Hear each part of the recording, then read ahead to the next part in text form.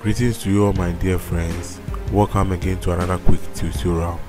In today's video, we are going to look at how to stop popping up adverts and notification that keeps showing up all the time. First, open Google Chrome browser. Click menu, then settings. Select privacy and security. Scroll down and click site settings.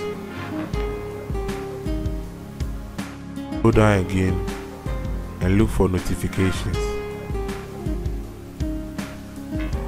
Now under customize behavior, remove all the vertical three dots.